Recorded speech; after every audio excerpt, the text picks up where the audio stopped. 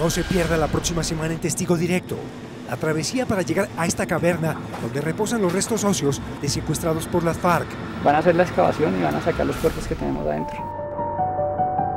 Yo sé que mi hija no está muerta. Yo estoy en la misma casa esperándola. Un exconsejero nacional de paz hablará descarnadamente qué está pasando con los secuestrados.